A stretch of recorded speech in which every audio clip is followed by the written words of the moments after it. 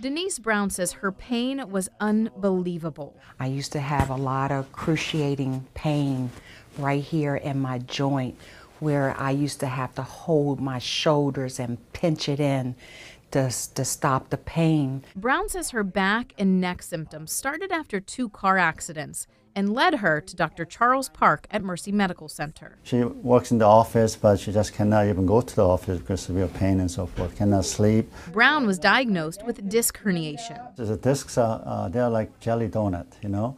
So outside layer is tough called annulus. Inside layer is very soft like a crab meat, like a jelly. And sometimes the outside layer opens up.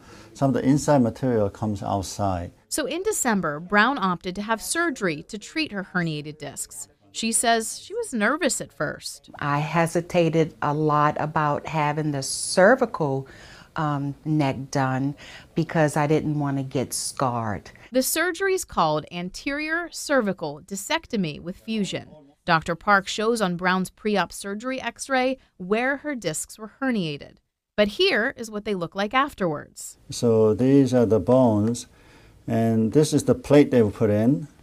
Uh, there are two screws on each of the bones, and uh, this ver- vertical lines are actually the spacers. Now, Brown says she feels like a new woman. I feel 100%, 100%. I'm able to use my arms.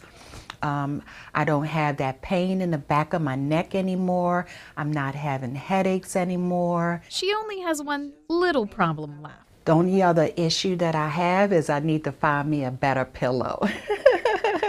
Reporting in Baltimore, Lacey Griffith, WBAL TV 11 News.